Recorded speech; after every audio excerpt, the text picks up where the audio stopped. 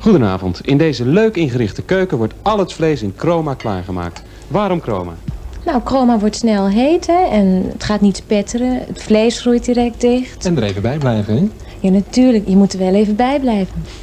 Ruikt prima, zeg. Het is ook prima. Kijk maar, lekker bruin dat vlees. Ik krijg er ook een heerlijke jus van. Goed, hè? Blijf je eten? Ik heb genoeg hoor. Vlees is beter af met chroma.